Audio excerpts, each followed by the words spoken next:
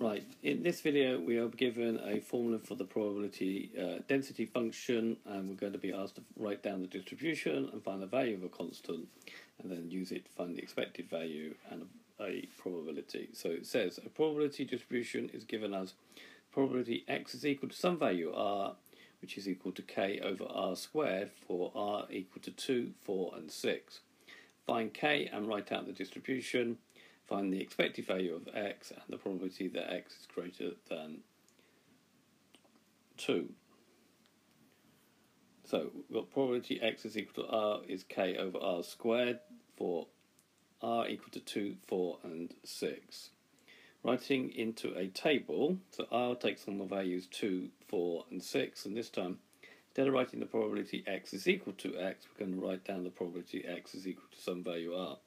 So this will be probability x is equal to 2, this is a probability x is equal to 4, and this is a probability that x is equal to 6. So the first one is going to be k over r squared, so it's going to be k over 2 squared, which is 4.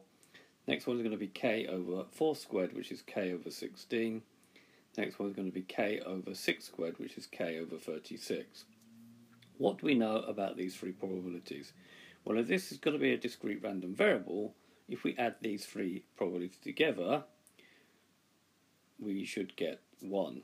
So therefore, k over 4 plus k over 16 plus k over 36 is equal to 1. k is a common factor, so k over 1 quarter plus 1 16th plus 1 36 is equal to 1.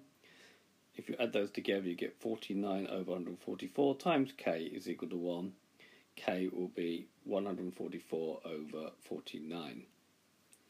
Then what we're going to do for the next bit, write out the distribution, instead of writing k over 4, we're going to do 144 over 49 times a quarter.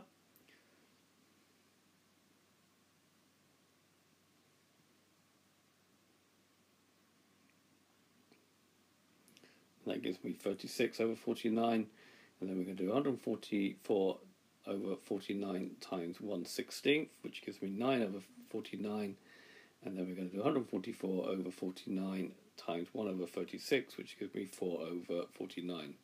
Notice if I do 36 plus 9 plus 4, I get 49 out of 49, which makes all the probabilities equal to 1, which makes this a discrete random variable. Discrete because it only takes on exact values.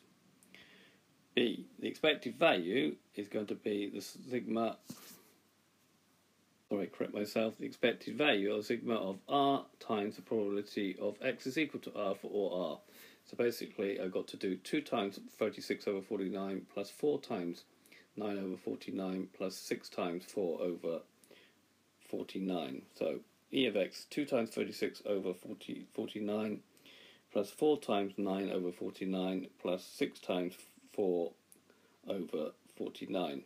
Now you might want to work out 2 times 36, 4 times 9, 6 times 4, and then divide the result by 49, and we get 2.6938, which to three significant figures is 2.69. Okay, the mean should be somewhere between 2 and 6. Now, we are asked to find the probability of x being greater than 2. That's going to be those two values. All we need to do is do the probability of x is equal to 4 plus the probability x is equal to 6. We add those together. So it's 9 49ths plus 4 49ths, which gives me 13 over 49. Okay, so this is uh, been a video to show you how to change the probability density function and into uh, a table and then use that to calculate a value of k and then use that to find the expected value and a probability. I hope you've understood and I thank you very much for watching.